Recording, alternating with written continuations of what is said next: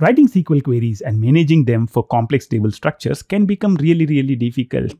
And that's where Hibernate came in and said, you map a Java bean to a table and I would take care of generating the queries for you. So you map an entity to a table and you can tell me what actions to perform and I'll generate the queries and perform those actions.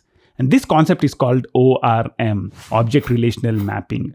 Hibernate is an ORM framework. Once the concept of ORM became successful, Java EE wanted to standardize this concept and brought in something called JPA.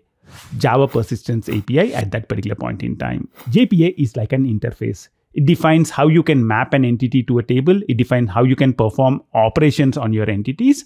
And Hibernate is like an implementation of JPA. So Hibernate implements everything that is defined in a JPA. By making use of JPA, you can easily shift from Hibernate to another object relational framework like TopLink.